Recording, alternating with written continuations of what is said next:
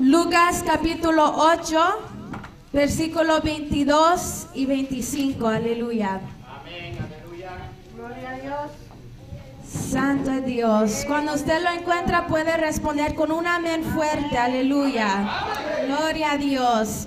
Lucas capítulo 8, versículo 22. Estaremos leyendo en el nombre del Padre, del Hijo y del Espíritu Santo. Amén. Aconte- Aconteció un día que entró en una barca con sus discípulos y les dijo, pasemos al otro lado del lago. Y partieron. Pero mientras navegaban, él se durmió y se des- desencadenó una tempestad de viento en el lago y se anegaban y peligraban. Y vinieron a él y, le despertaron diciendo, Maestro, Maestro, que perecemos.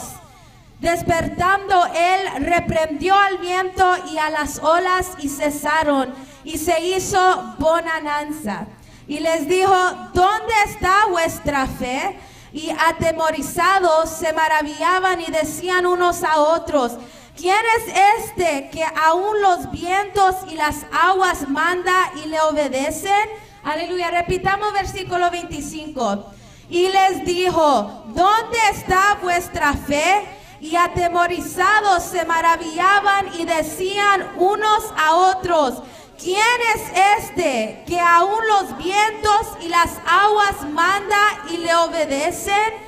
Gloria a Dios, aleluya. En esta noche, hermano, vamos a estar presentando esta palabra a nuestro Dios, aleluya. En esta hora yo invito a que cierres tus ojos, levanta tu mano al cielo y dile